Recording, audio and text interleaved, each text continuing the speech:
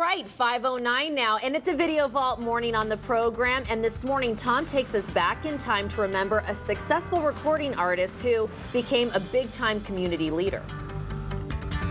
It was great to be around a guy that, you know, had so much idealism and really believed it, especially in our materialistic Las Vegas.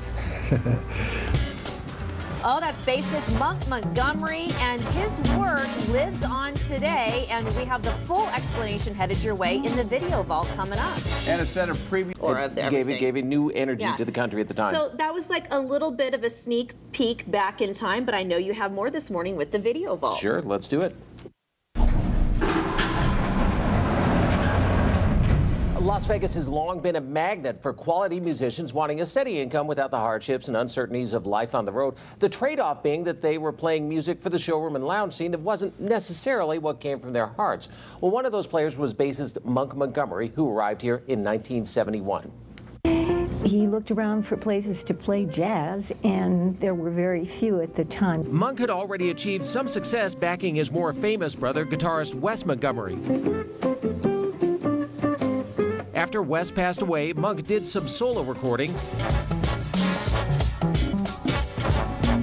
but also wanted to get more involved with the community. So he gathered together townspeople, musicians, people from the university, uh, people that were interested in jazz, and decided that um, we should start a jazz society.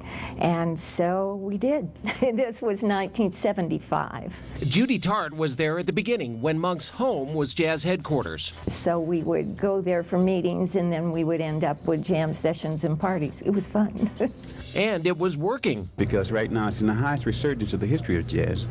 And it's almost like striking, the timing is perfect. Striking when the iron is hot. There's a lot of work to be done. So he requested and obtained permission to have May be designated Jazz Month. Jazz. Get used to it. This is the fourth annual Jazz Month for Las Vegas.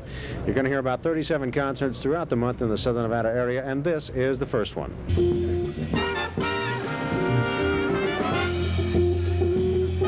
Three decades later, Monk is gone, but the organization he started lives on. We would really like to foster the music again and work together to be able to work as a cohesive group.